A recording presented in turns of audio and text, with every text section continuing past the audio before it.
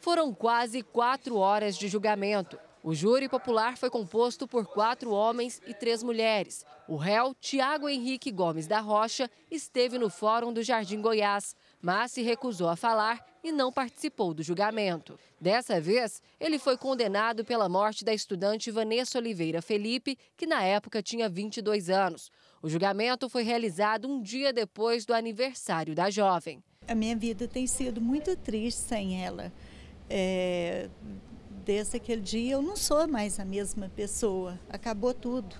É, não só a minha alegria, mas da família inteira, porque era minha única filha, mulher, e a Vanessa era tudo para mim. Esse foi o 29 julgamento do serial killer. A defesa trabalhou com o argumento de que Tiago é semi-imputável, ou seja, de que não tem consciência total dos seus atos. A intenção era de reduzir a pena.